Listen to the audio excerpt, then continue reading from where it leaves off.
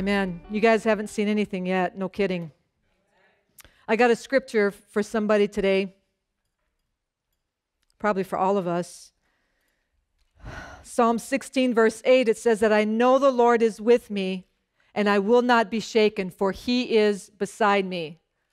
I think if we're being shaken in any area of our life, it's because we don't know that the Lord is always with me. If I am being shaken, if you are being shaken in any circumstance, I don't care what circumstance it is, then you don't know and understand that the Lord is always with you. The Lord, you want to know who God is? I think I think um, Sarah spoke about this how God Himself, in the palm of His hands, in the palm of His hand, holds the galaxies. That God is with you. So when we understand and when we have a revelation of God is with us, we will not be shaken. We need a revelation of the Almighty God, the one that created the universe, the one that spoke you into existence, that He is with you. Yes, you do.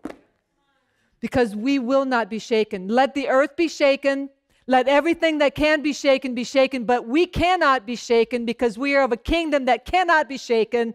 And if you know that the Lord is with you, in you, beside you, behind you, in front of you, in you, on you, then there's no reason that you can be shaken. Amen. Amen? We need to remind ourselves constantly that the Lord is in me, on me. Remember, He's in me, for me, upon me, for the world. Amen? We're living in a time that is, what would be a good word? Crazy. Let's do that.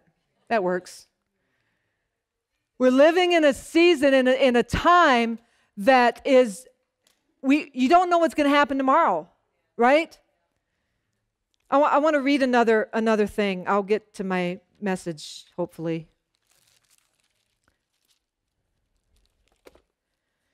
It says this in Psalm 139. It says, You made all the delicate inner parts of my body and knit me together in my mother's womb. This is telling me that God Himself knitted you in your mother's womb. You were not an accident. You were not a mistake while you were being formed in your mom's womb, God already decided your purpose. Do you know that God, I'm going to step on some toes and God help me, Jesus, you guys just bear with me. Let me read another. You watched as I was being formed in utter seclusion, as I was woven together in the dark of the womb. You saw me before I was born. Every day of my life was recorded in your book, and every moment was laid out before a single day had passed. While you were being formed in your mother's womb, it was not an accident. God Himself was creating you. I know that it takes an egg and a sperm to come together and to form a being.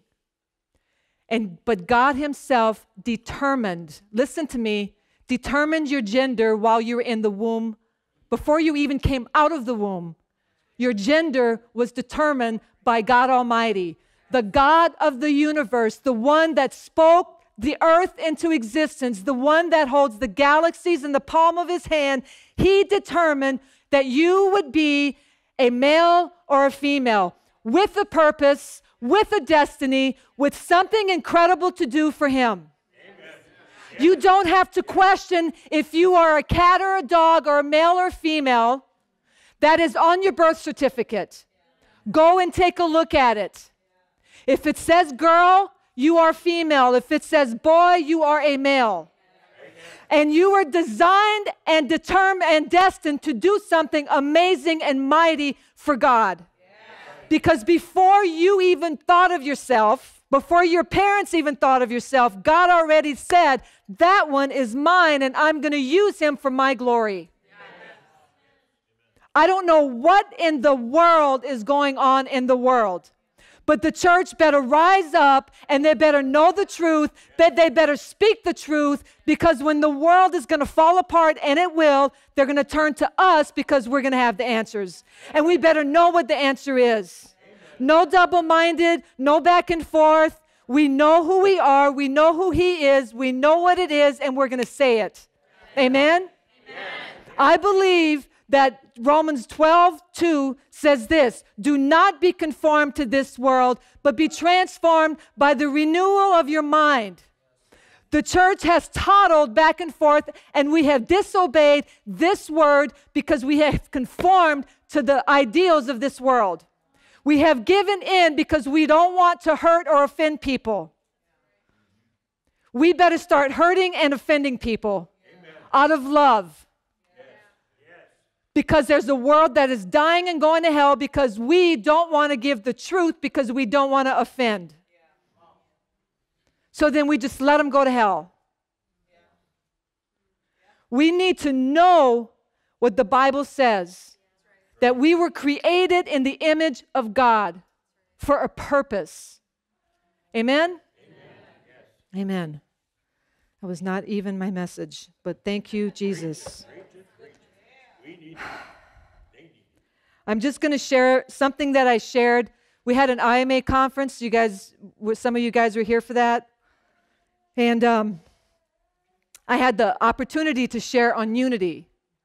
And I think it is really important because um, unity is something that we haven't really seen much, correct? Unity is, um, let's see if I can find the definition of it, if I even put the definition on here. Maybe I didn't. I think we think of unity as being um, like we're all in agreement, we're all on the same page. Yeah? But we can be in unity and have different opinions. Did you guys know that? I say this a lot. You know, we have we have a lot of people. This this one this one time, we had um, we used to have blue uh, blue chairs, and we had burgundy carpet, and we had that wall was pink, and the rest of the walls were white. And you know, I never noticed it. I never noticed it. And I had a friend that was gonna that was gonna come and kind of help us, you know, like she's like an interior decorator, whatever. So she walks in and she goes, Oh my God, Char, what are you guys doing? I'm like, What? It's like you got a pink wall, blue chairs, and purple carpet. And I'm like, Oh, that doesn't match? So anyway, so this was when we first took over. So I thought, you know what? I'm gonna, I'm just gonna paint the church. So we painted it. I think it was like a gold, you know, because the gold was in. So I thought I'm just gonna paint it gold because it kind of matches the floor, kind of matches the whatever, you know. And so um, had a couple people say, "Well, I don't really like the gold. You know, we should have done this. We should have done that." And I said, "Well, I didn't really ask your opinion." Can you imagine asking everybody's opinion on what color that we should that we should paint?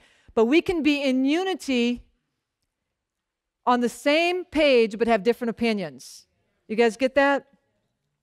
I'm just going to can I just read this? Unity is unity is this is something that the world is very far from and I fear that the church is as well. I have never seen in all of my life the church being so divided on issues that don't really matter that shouldn't matter, right? You have COVID, right? Wear a mask, don't wear a mask.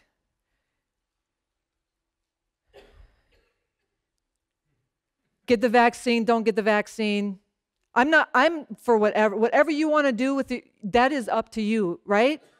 You want to do it, do it. Should the churches open? The churches don't open. There's all of these, there's all of these things that are going on that is causing the church to be divided, and it shouldn't be. Jesus said in John 17, he was talking, he was praying actually, and he was praying to his father, and he was like, Lord God, Father, God, somebody up there, I want them to be one as you and I are one. Let them be one as you and I are one. In other words, the, the Bible says in First John, it says that the world will know the Father by our love for each other. The world will know God's love by our love for each other. I hate it when churches are in competition. That was never God's design to be in competition. I look at, I look at churches as tribes. It's like each church has a vision and a purpose, and each one should do what God has called you to do. We need to do what God has called us to do. Don't you agree? We are doing what God is calling us to do, and we are making an impact on our area. Amen? And I believe that if we were, if the churches were not so concerned about what other churches are doing, they would make an impact on their area as well. Amen? Each one of us are called to do something completely different, but with one purpose. And what is that purpose? Jesus. Amen? Saving people from hell. Jesus said, Repent because the kingdom of heaven is at hand. Go heal the sick, raise the dead, cast out devils. And then he said, Make disciple of all nations. How do you do that? Bring them to a cell group. The church, unfortunately, has jumped on the same wagon. And like I said, we've disobeyed the word of God and we've conformed to the world. And we haven't we haven't been the steadfast thing that the world needs. And God is calling us. He's not calling us, He's commanding us to arise and to shine because His glory is upon us for a reason and for a purpose. Amen? That reason and that purpose is the world 100% now more than ever needs Jesus. Jesus is the hope of the nations. Nothing else is hope. No program is hope. No government assistance. No, nothing brings hope to a nation except Jesus. That's why God said, I love the world so much that I'm going to send my son to die to give them life and to give them a hope and a purpose. Amen? Unity is the soil for vision, and submission is the fertilizer. Honor is where vision grows. Unity in Acts chapter 2. In Acts chapter 2, remember in Acts chapter 2, Jesus says to go and to wait for the Holy Spirit to come. You guys remember that story? And it says that they were all in one accord. And then the Holy Spirit came. As I was reading that, I thought, you know, the miracle was not the Holy Spirit. The Holy Spirit was the promise of the Father. The miracle was they were all in one accord. Could it be that the Holy Spirit is attracted to unity? Could it be that the Holy Spirit, that unity was that, was that, that thing that the Holy Spirit could come and fall upon? Could it be that unity is the foundation for the Holy Spirit to come and fall? So, if that's the case, then what do you think discord attracts?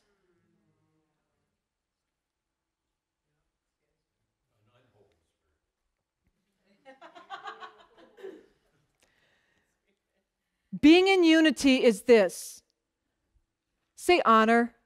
Say honor. honor. We have to learn honor. How we honor each other, honor each other's gifts, honor each other's each other's differences. I love what Bill Johnson says. He says honor is seeing in somebody something that they're not. Does that make sense? He says, You see in somebody the thing that they can be, even when they're acting the opposite of what they should be. Right? Honor and unity go hand in hand. So, as we understand that we are called as a church to be a light to the world. In Isaiah 60, it says that we are to arise and to shine because his glory is upon us, upon you, upon the church, not for you, but for the world. Remember, his glory comes upon us, his Holy Spirit is upon us. That's what happened in the book of Acts. Unity attracted the Holy Spirit, the Holy Spirit came upon them, and they became witnesses. So when the Holy Spirit comes upon us, it's not so we can get goose pimples and roll on the floor, although that's fun or fall over, but it comes upon us for a purpose. Say purpose. And the purpose is to be a witness to our area, be a witness to the one next to you at work, be a witness to the one at the grocery store, be a witness to the one at Drags or at Casa or at, can't be Mandarin anymore because they closed. So sad. So sad. Ah. Let me read something to you. Romans 12 9 says this it says, uh, Let the inner movement of your heart always be to love one another and never play the role of an actor wearing a mask. Despise evil and embrace everything that is good and virtuous. Be devoted to tenderly loving your fellow believers as members of one family, and try to outdo yourselves in respect and honor of one another. Be enthusiastic to serve the Lord, keeping your passion toward Him boiling hot. Radiate the, the glow of the Holy Spirit and let Him fill you with excitement. Say excitement. Excitement to serve you. See, I believe this that excitement comes when we honor one another. Passion is ignited when we learn to honor in unity.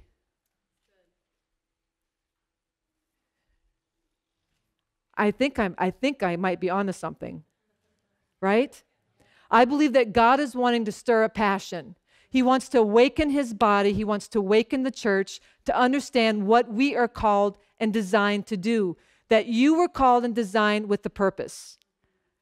There's a purpose in your life. You were designed to do something great. Just like I said to the worship team, inside of them are songs. Do you know inside of you is seeds? Inside of you are books.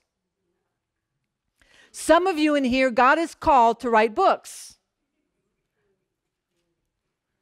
Some of you, inside of you, God has called you to be a president of your company or to start your own company. There's purposes and things inside of you that you you just kind of don't think that you can do because you don't see it big enough. I always say this that if you're if things you if you can do things on your own then they're not from God.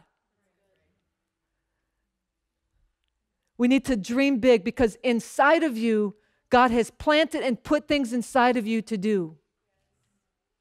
You don't just wake up in the morning and just exist.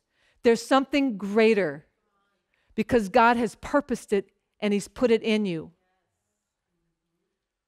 Dream big. What do you want to do?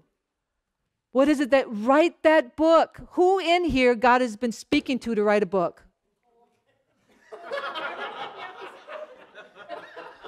Okay, listen. If he has, listen, if he has called you to write a book and you don't write the book, then you don't, then you, okay. The th- here, you guys listen. The book is not for you. When an apple tree grows up to be an apple tree, the apple tree does not eat his apples. If he does, then cut it down and burn it because it's a weird apple tree. Who eats the apples off the apple tree? People do. The book inside of you is not for you. It's for the people that you were designed to touch. Amen? The songs that the worship team are supposed to write, it's not for them. It's not even for us. It's for the world because it's going to be anointed, and anointing breaks the yoke. Amen? God is going to call you to do things that are very uncomfortable because it's not for you. It's for the one next to you. It's for the one at the gas station. Yes. If He's calling you to be a boss or to be a supervisor or to be a president of a company or do something like it's not for you, it's for the people that you're going to build up to be amazing employees. Right, Tyler?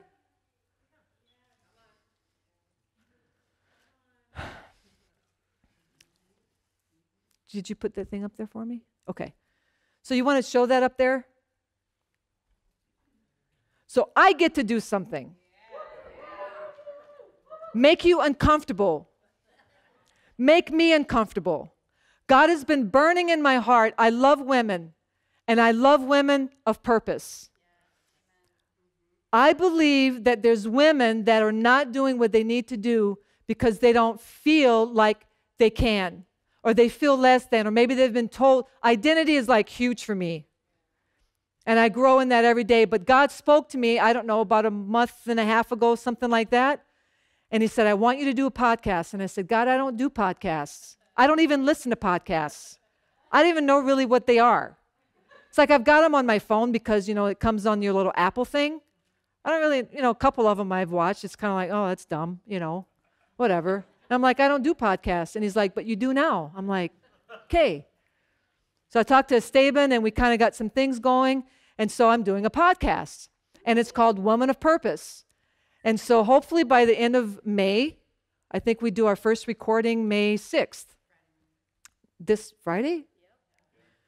This Friday, we do our first recording, and then I don't know what's going to happen. He's going to do it out there. But I believe this it's going to reach a sphere of women and it's going to influence thousands of women. Not because of me, but because I said yes. And God's going to God's going to do with it what he wants to do with it. So you, what is it in you that God has been speaking you to do? Write that blog, write the book, write the song, apply for the promotion, start your own business because the fruit that it's going to be, it's not for you. It's for somebody else to eat the apple. Do you guys get that? There's seeds inside of you. You don't just wake up every morning. You can do the impossible because the God of the impossible is inside of you. He will give you the, the strategy that, strategies that you need, the more seminars that you're going to do, the manuals that you're going to write. There's purpose inside of you, and it's not just to wake up every morning. I mean, you want to wake up every morning because if you don't, then, you know, you're in heaven. Hallelujah. You guys get that? He wants to breathe passion in you. He wants to breathe passion in me. And we need to say yes as a church and what He's called you to do, what He's designed you to do, what He's designed us to do. We have a vision at this church and we do the vision, and that's what we do. How many know the vision? How many has memorized the vision? We had some little kids that kids downstairs are learning the vision. You need a, we need a vision for our life. The Bible says that without vision, people run around trying to figure out what to do. So what is that we what's our vision? We are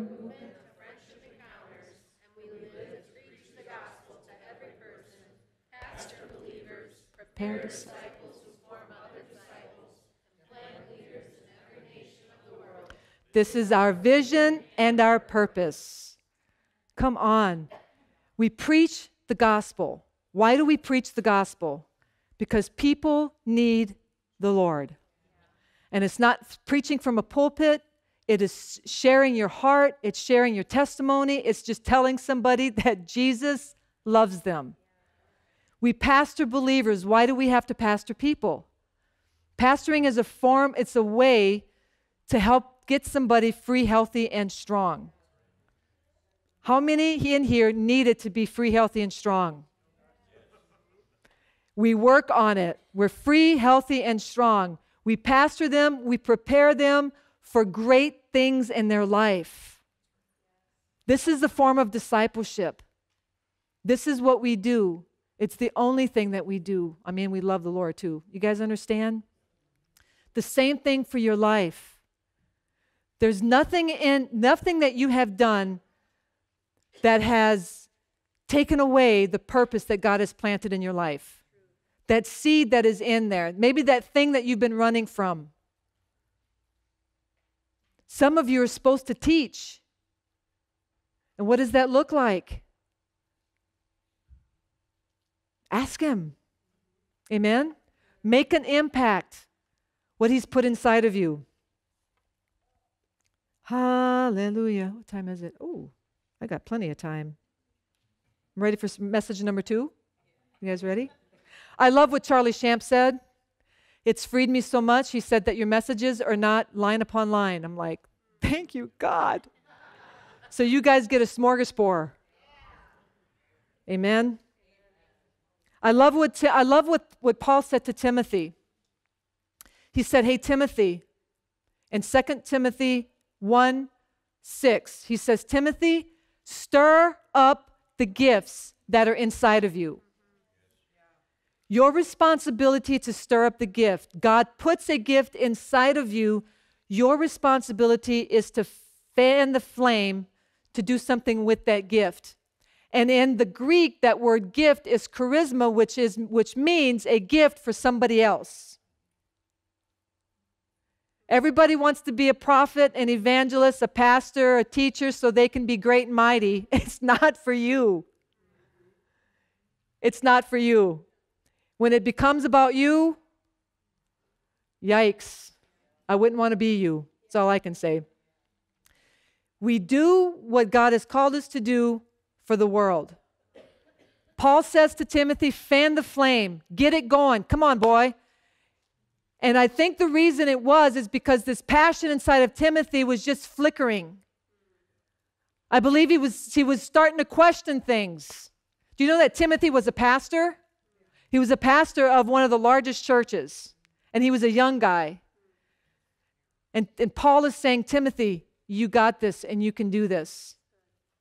And he says this he says, What's the next one? We all know that by heart. Because not, God has not given you a spirit of fear, but of love, power, and a sound mind.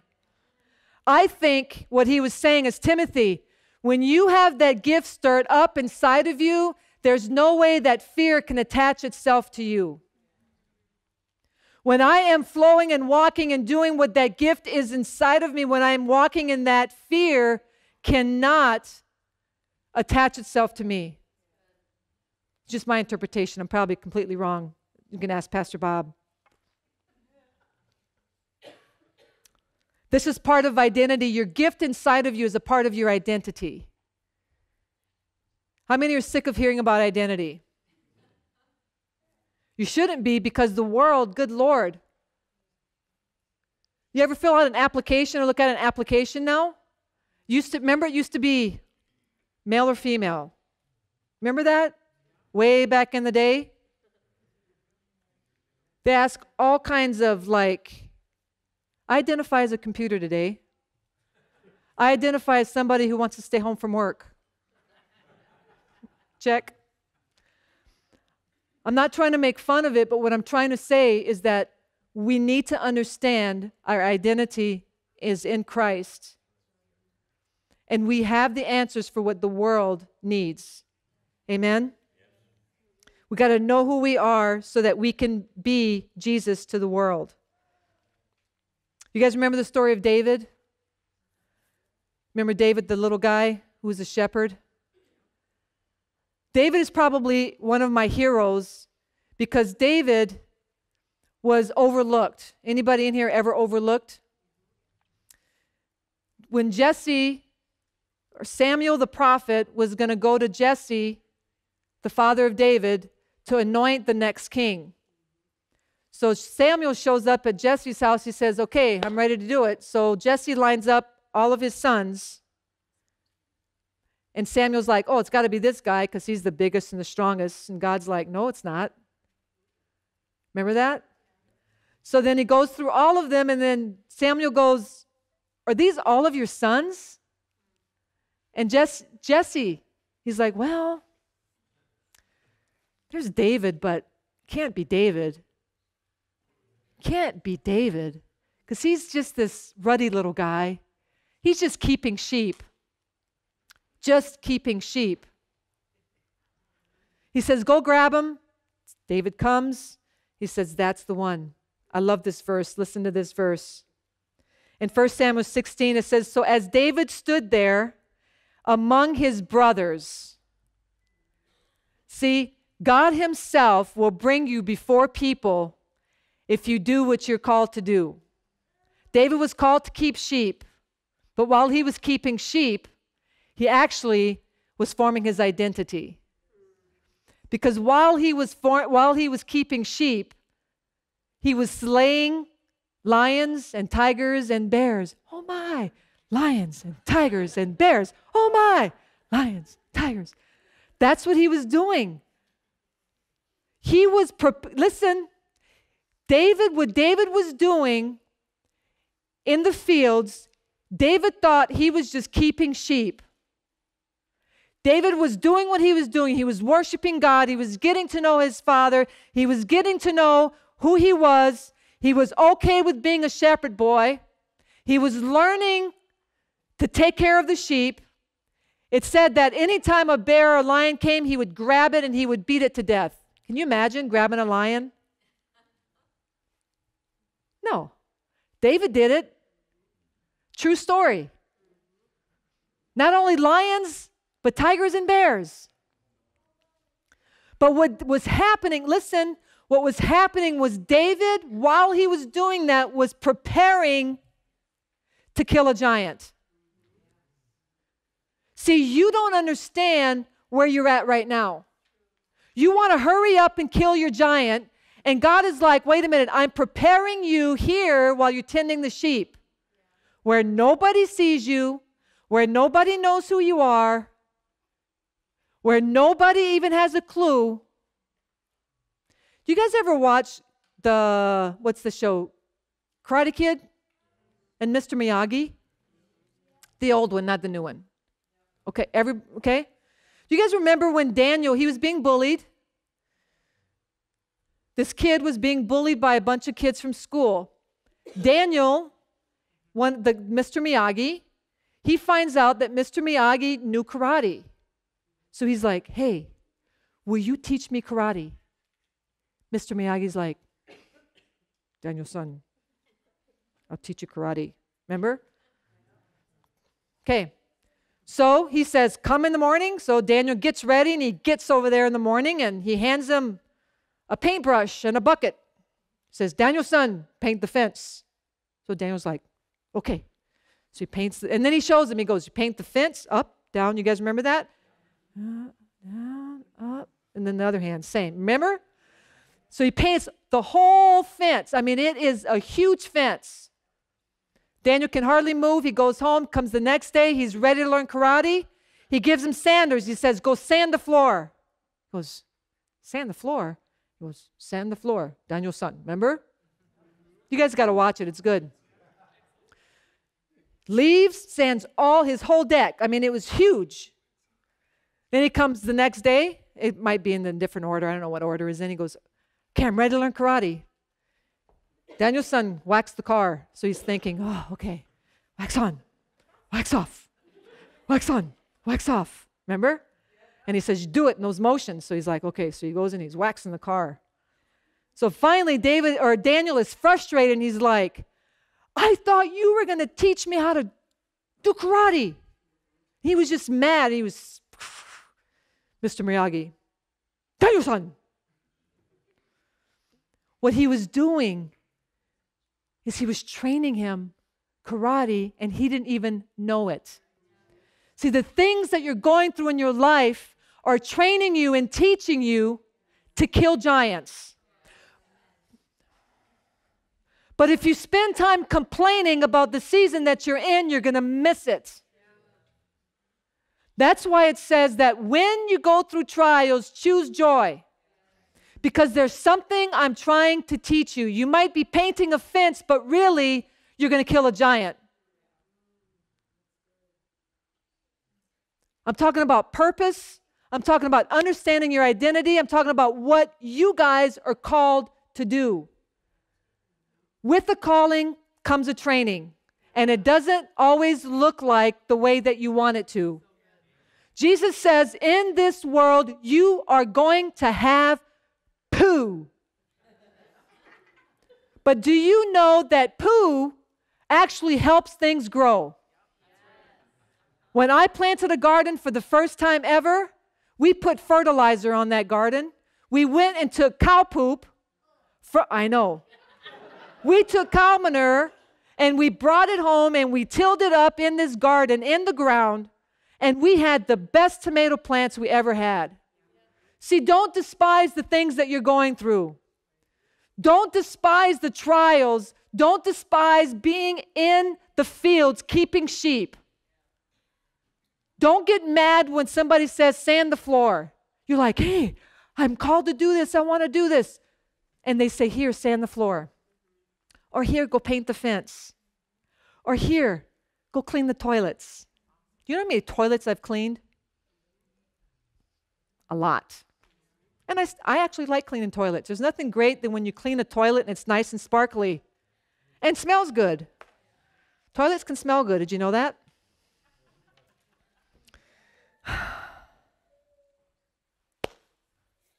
David knew who he was. That's why David could stand up to a giant because what he learned, he tells Saul, I'm going to go and kill that giant. Saul's like, You're crazy. You're just a boy. And then he says, Hey, Saul, when you were not looking, I killed a bear and I killed a lion. And this Philistine today is going to hit the ground. What was David doing? He was prophesying to Saul. He was saying, You know what? I know what you think of me, and it doesn't matter, but I know who I am, I know what I did by the power of God inside of me. And today, what I did to that lion and that bear is what I'm going to do to that giant. So Saul's like, okay. So Saul's like, here you go, David, put this on. David puts on all of this armor and he's walking like this. And he's like, and he's like, I can't do this because that's not how he was trained. He was trained in the fields with what? A sling and stones. So David gets his sling and he gets his stone. And this is the fun thing is before he killed the giant, he looked at Goliath and he prophesied to him. He said, "Today you meet probably not your maker. Today you die, and I'm going to cut your head off and blah blah blah blah blah." He didn't run from his giant, he ran to his giant because he understood who he was and he was trained to do it. I guarantee you, David didn't know while he was in the fields keeping sheep that he was being trained. But you, some of you have gone through training. How many know there's always training to go, to, go through? There's always something new. I mean, good Lord, just get a computer. It's like, well, you got to do this, you got to do that, you got, and then it changes the next day. It's like, what? Apple 5, Apple 6, Apple 10, Apple 12, you know, whatever. There's always training. I love what verse 39, that was the one about the armor. David didn't learn how to fight like that. David learned how to fight when nobody was looking, I believe he learned how to fight through his worship and his praise. Amen. You guys should read about David. It's really, really amazing. He's one of my one of my heroes. when we let God develop us, then it's going to be God that's going to sustain us. God develops you and me in the secret place in the quiet place on the backside of the desert. You know that Moses was commissioned in the wilderness? Moses was commissioned through a burning bush in the wilderness when nobody was watching. I'm sure he said, Hey guys, a burning bush spoke to me. And they're like, Yeah, right. God's going to speak to you in those places. A lot of times, He's trying to speak to you in those places, and you can't hear Him because you're complaining about the place that you're in. In everything, give thanks. Whatever season you're in, I want to encourage you and challenge you to give thanks. Because the Bible says if you want to know God's will, God's will is to give thanks in whatever situation that you, you're in. So when, when we let God develop us, He will sustain us. We never have to try to be anything but who God has made us to be because He makes us like Him and we're formed in, into the image of Jesus. Amen. 2 Corinthians 3:18 says that as we behold him, we are transformed to be like him. Amen. Amy, why don't you come to the keyboard, please?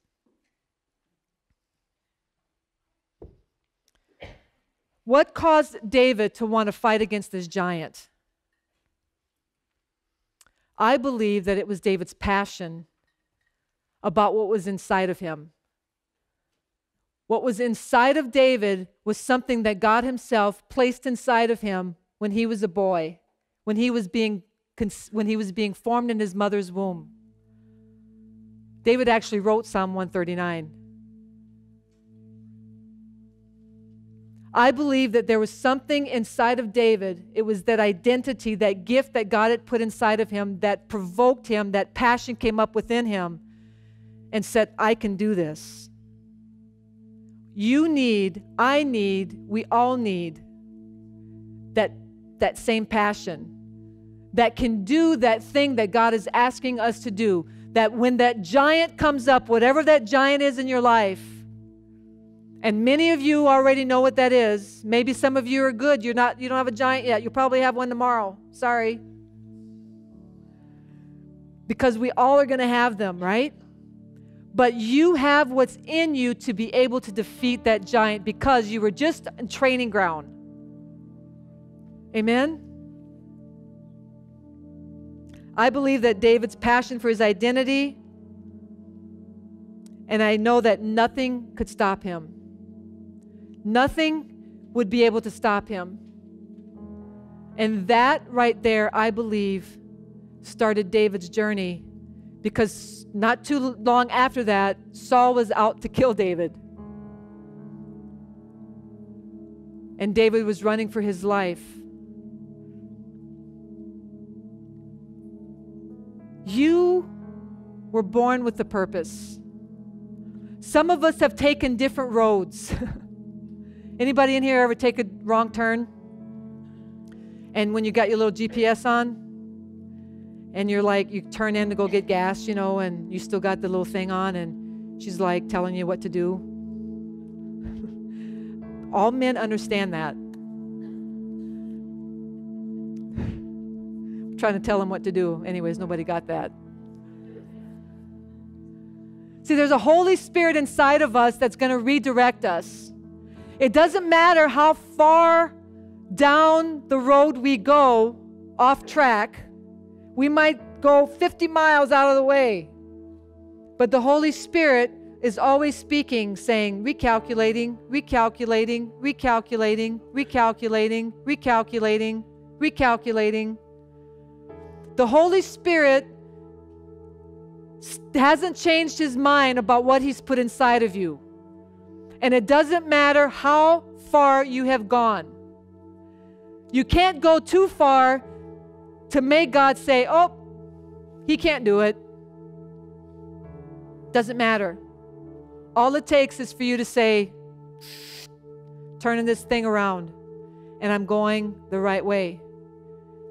Laying it down before him, Romans 12:1 says, giving yourself as a living sacrifice. Repentance takes you right back up, just like you never did it. Isn't that good? God is so good. So there's things inside of you that He wants you, not me, to stir up. I, you know, I can encourage you, and I can encourage you, and I can encourage you, and I can encourage you, but I don't want to encourage you. I want to empower you. Because I can encourage you today, you can wake up tomorrow and need more encouragement. But when I empower you, it's putting responsibility on you to do it. You know that we can get addicted to encouragement. We can. But when you're empowered, it's in your court. And I empower you because you have the Spirit of the living God on the inside of you. He's not only on the inside of you, but He will come upon you. The God of the universe that holds the, the galaxies in the palm of His hand, that God, you know, when the earth was formless and nothing, that God that spoke it and it went, wouldn't you like to see that? Like, wouldn't you like to see that? He wants to. He's like, sure, I'll see it. That God, listen, lives inside of you. There's no addiction too hard to break. There's, there's nothing that is impossible. I don't care what your situation looks like. With God, there's nothing that is too hard for Him. There's nothing that is too hard for you. That's why I love cell groups, I love community. Together, we can do anything with God. Amen. Why don't you guys stand up?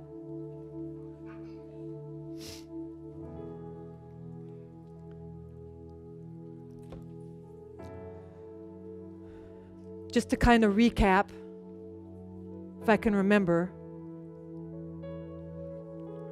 I talked about us being a church united in what we believe and what the Bible says, standing for truth, because now more than ever, we cannot be politically correct. We need to be truth. The world does not need your opinion. Listen to me. The world doesn't need your opinion. The world needs truth.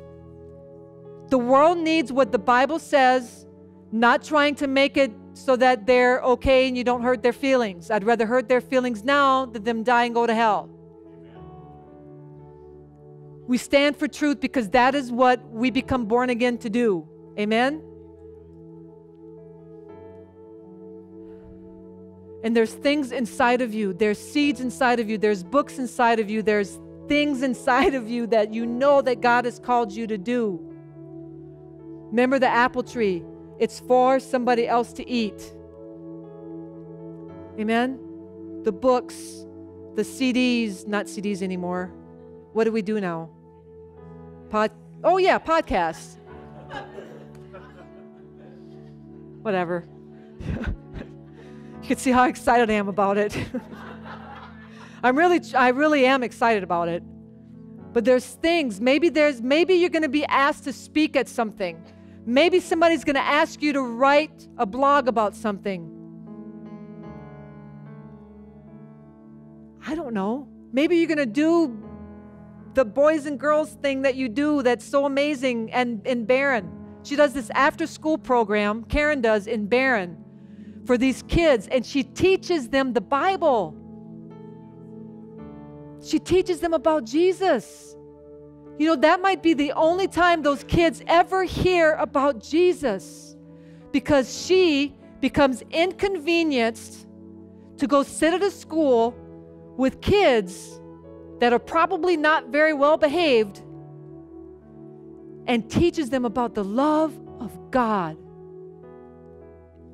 Some of us need to be inconvenienced. You got gifts inside of you that we need. Use your gifts to serve.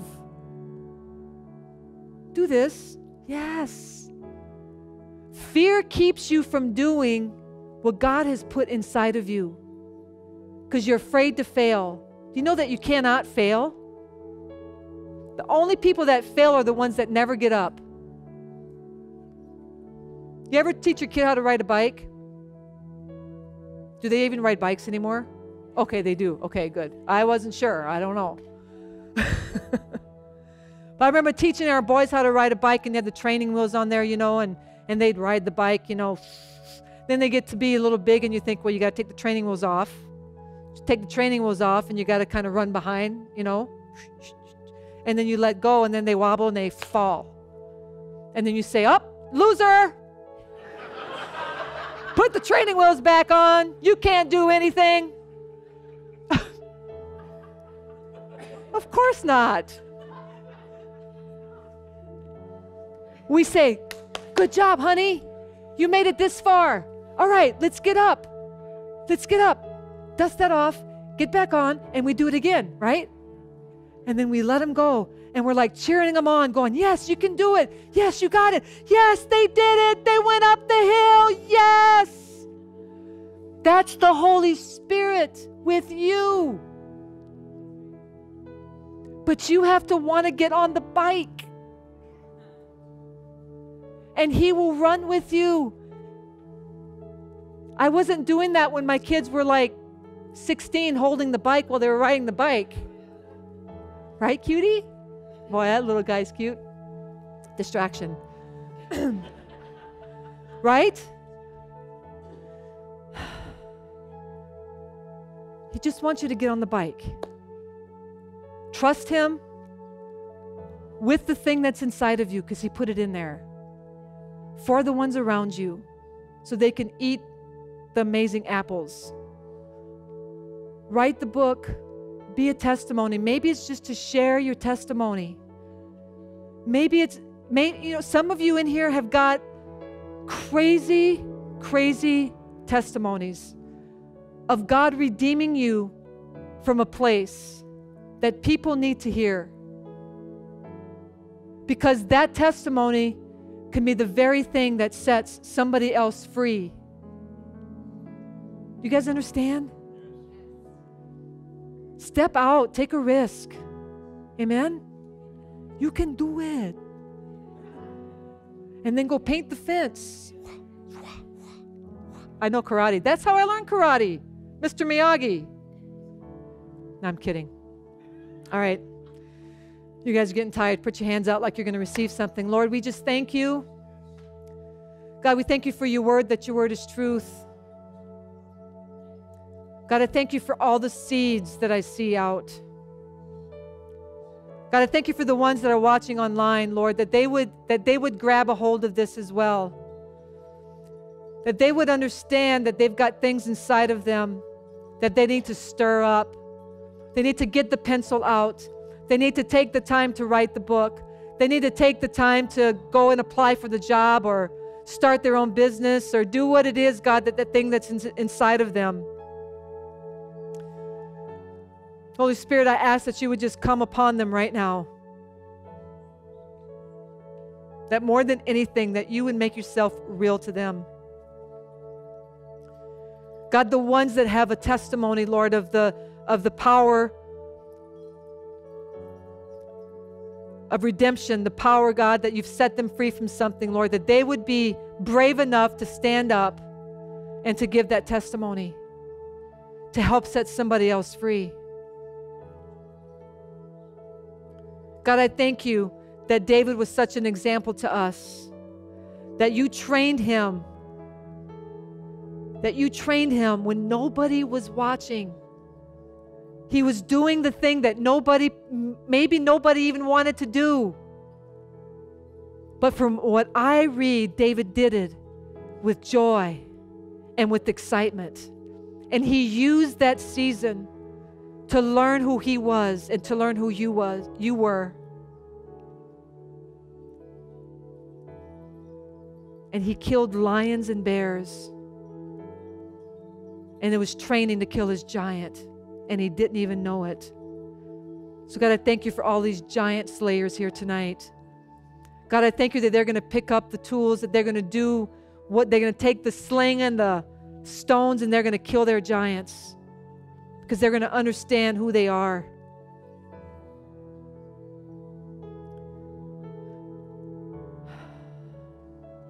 God, I don't encourage them tonight, God, but I empower them.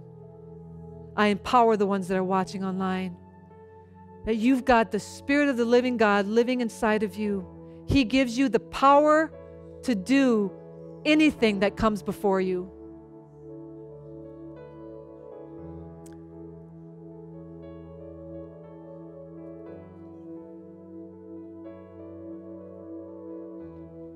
Jesus, we love you.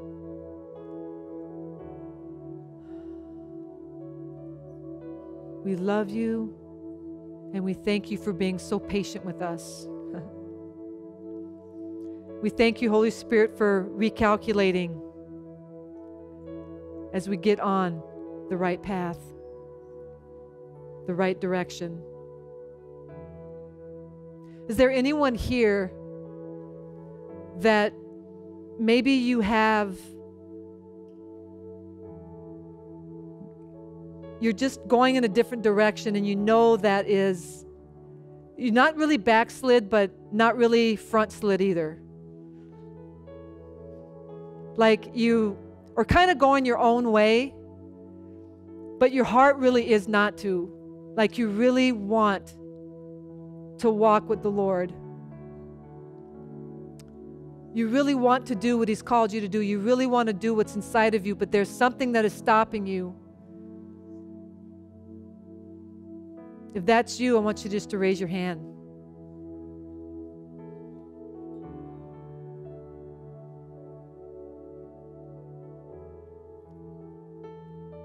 All right.